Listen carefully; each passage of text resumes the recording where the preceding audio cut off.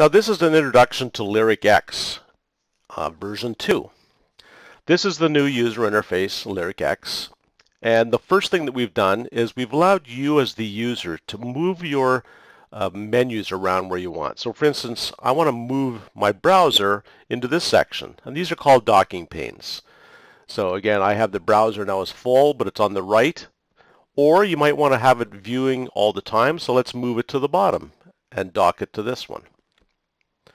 But in my case, I like it along the bottom. I use my browser sometimes, but not all the time. So why let it waste space on the, on the GUI?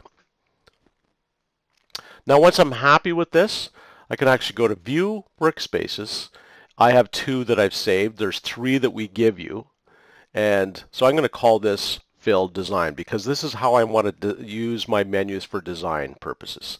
Now I'm going to open up a playout one. I've set one for playout I, where I've basically left the tools open that a playout operator would use. Now we've added one along the bottom called console. It's actually in the bottom because that's where I put it, but it gives you information. For instance, it tells you how long that message uh, took to read in seconds. And it gives you other information. So for instance, this message here has a bitmap on it. I'm going to purposely delete that bitmap. So when I call the message up again, it actually gives me information in the console that, that it's a missing asset. Now this is great if you're missing TrueType fonts. It'll actually tell you what the TrueType fonts are that, are, that it's missing. So you can have that shown or have it hidden if you want. Now under Config Preferences, the menu is basically the same, but we've changed the name of one, called it a project folder. And the reason I'm showing you this is we've actually added a shortcut key for the project folder right on, on the GUI. Uh, under the timeline, we've added the default node length. So when you bring a, a node into the scene, now it's at one second. Uh, the uh, default interpolation set to ease in. And a flag for global toggle keyframe indicator. And I'll explain what that is in just a second. So let's just bring uh, this McDonald's logo in. And you can see now this new timeline. It came in at one second because that's what I had it set for. And I'm going to move that over. And now that keyframe, if you right click on there, it's set to ease in. And if I turn my global keyframe on, this button right here, all along the bottom turns red, and that was what I flagged in the preferences setting. Now in older versions of software, we had a transition properties menu where we had the message properties information, conditional transitions, hold, first frame, last frame, and this is how we added elements into each of our transitions. Now we've simplified that a great deal in the new software. We've, we have a new menu called scene properties. And this is where you name the scene describe the scene if you want, add it, make it persistent, change the priority setting of it. Uh, you can even add a background to this one because this is related to the scene itself. And the rest of the transition properties in the old software, we've simplified a great deal. There's actually no menus needed for that. So I'm just going to start with a fresh scene here. And let's add a 3D primitive. We'll add the cube. And I'm just going to add an image as well. So let's bring the Nissan logo on here. Now with our new timeline, we've added a lot of new elements. First of all, you can see that this is in um, seconds, the timeline right now, but I can right click on here and change this into frames if that's what you feel comfortable with. I'm going to leave it as, uh, as time code though. Now this is how you expand and contract that timeline. Very easy to set it to wherever you want, or you can do it with this, this key here. Now this one right now is set to 46 seconds in length. I'm going to leave it on time on time code. I can actually change the maximum amount down to whatever I want. So I'm just going to bring it down to around 5 seconds. So again, very easy to change that, that setting. Now I've really expanded the timeline so I can see my keyframes a lot better. Now I'm going to add an effect in and an effect out, and this is how we do it. We click on this little arrow here, this plus, select my effect in. Now how do I get my elements into the effect in? Remember over here, we're under the default properties, we had to select what we wanted and then we had to add them into the, into the properties.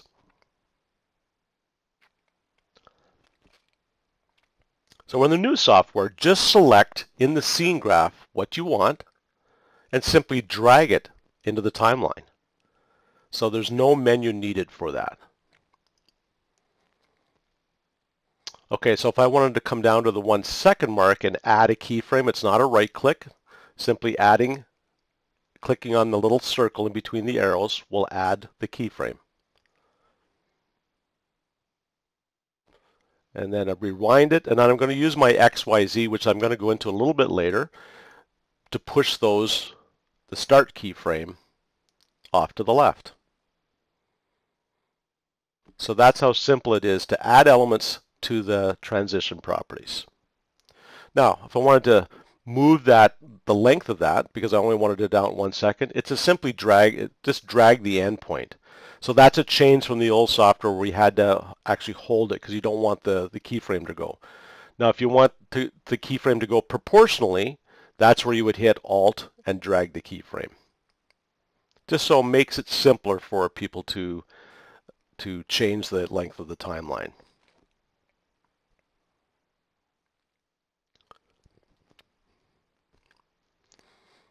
Now, I again, with this, if I wanted to edit the shortcut or put a shortcut key on there, that's how I would do it.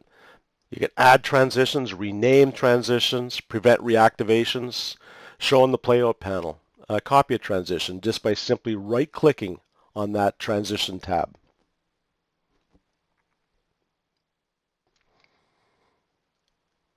And again, I can hit rename transition, or if I just click in there and to start typing, that's as easy it is as it is to, to change the name of that transition tab.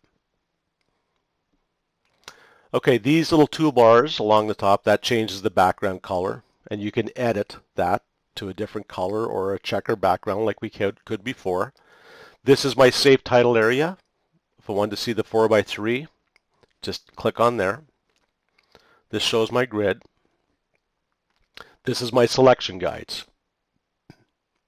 So again, the selection guides, I'm just going to bring this uh, star in there. That's the selection guides. If I wanted to quickly turn that off, just click that button and it turn it off. And the last one, I'm just going to bring another one in, the stars. If I moved the canvas around, I'm not moving the image around, I'm moving the canvas around, you'll see that the little toolbar turned red in the side and I, uh, on the left hand side and I wanted to change that. This button is for masking. Again, these menus can be left open or this is just a quick toolbar button to get to those menus. This is my auto spacing for doing bullet points. This is the auto hide window. Conditional transitions. Hotspots, and my macro. Now in my case, my macro window is along the bottom and that's why it didn't pop open because that's where it is, but it actually selected that. Okay, this scene has four different elements on it, an image, movie, 2D, and 3D text. Now, we added a new general tab right here. So when that's selected, everything that I touch in the scene. So that was an image. It shows me all the image properties. I don't have to right click on the image. This is the movie properties. That's my text. And then this is my 3D text. So again, there's no right clicking needed. It's all right there. Now in the older versions of software, we had um, something called events. We've replaced events with a thing called triggers. So this is how easy is it is. So on the effect in this one, so let's say I, I want to go down to the three second mark. I want to add a trigger, not an event, add a trigger, which is that button right at the top. I'm just going to bring that timeline down. But you see under the general tab now, that's a trigger. So you can rename that. I'm going to say trigger effect out, and then I'm going to add. And there's many things. You can see the transitions, the external, the pause. I just want to add a transition and then what shows up is transitions in that scene. So now when I hit play at the three second mark, that image is, or that scene is going to go off the screen. So again, events are now called triggers. All of the text functions are under one key. So in, in this case, I'm going to add some text, just type some text, and I'm going to lasso it. And again, we have apply to selection there, so that's what's happened there. This is where I add my edge, or my shadow, or my offset or border. I'll click apply to selection to do that. Now if I want to add a template, go back to there and say add the 2D text template. And just like before, we can move that and resize that template. Now you can see in here, it added the apply to template button. So if you're inside a template, you just hit apply to template. And under the general tab, this is where we would left justify center, right justify, turn word wrap on, turn numeric, um, so forth, flag it as auto erase, and size to fit. And you can see the DB linking as, at the bottom as well. So let's add a 2D crawl to the window. Again, type it, but in the general tab, all the information for that crawl is right in there.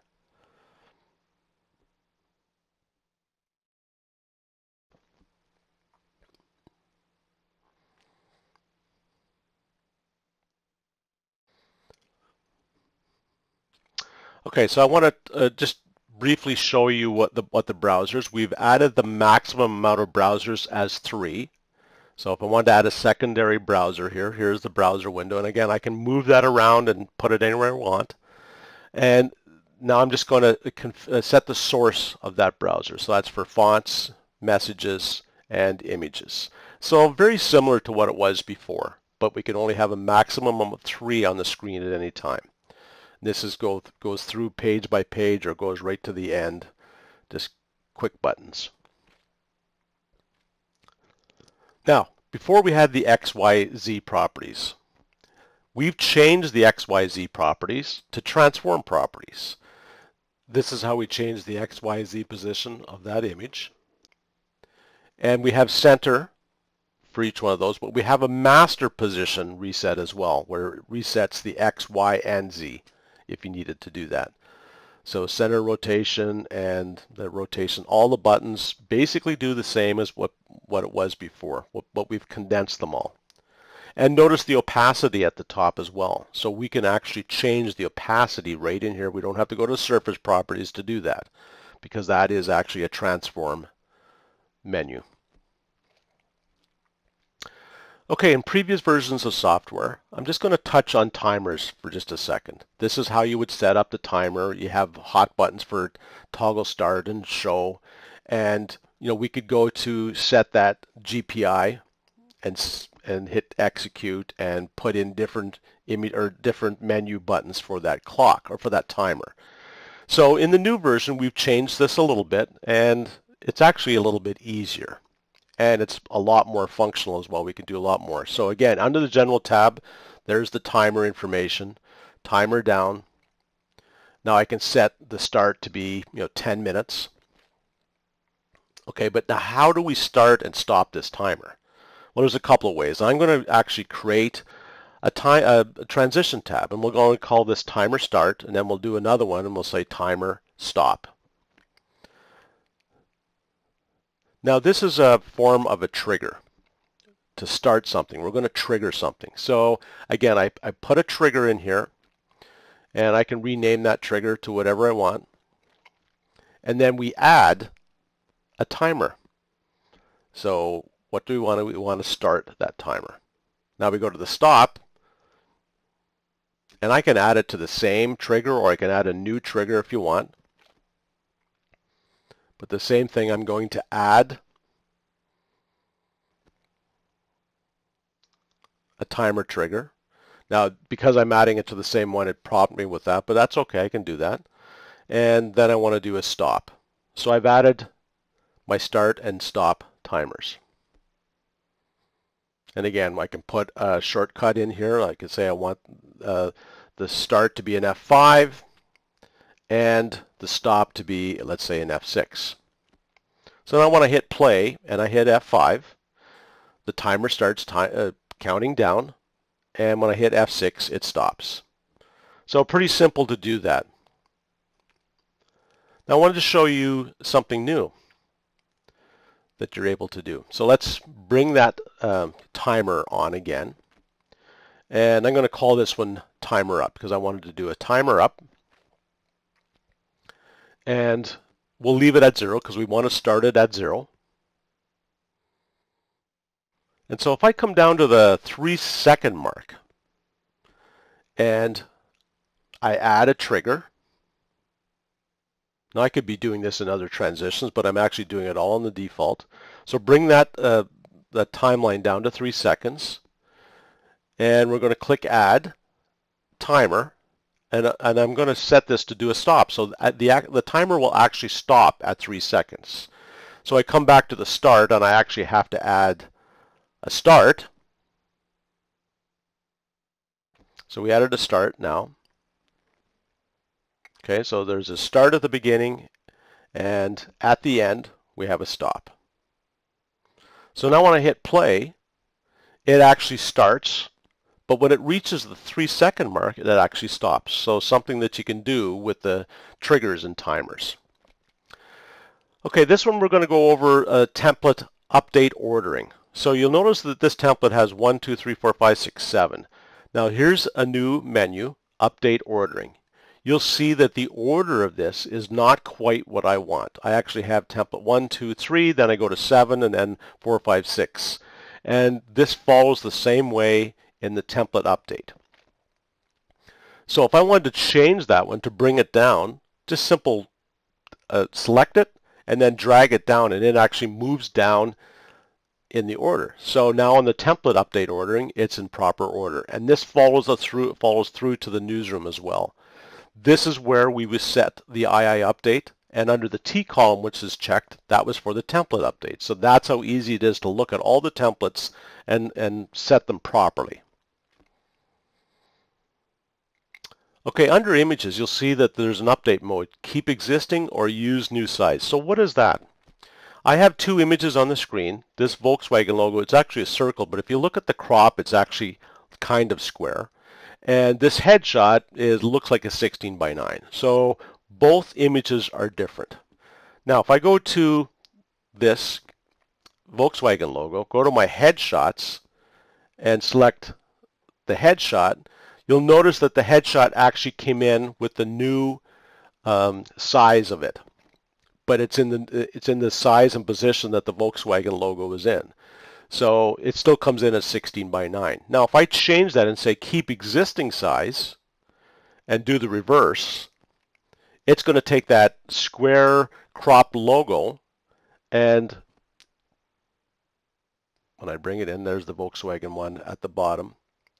You'll see that it's round there, but when I bring it in, it's going to be squashed because I had that to keep existing size. So just a new feature in the images.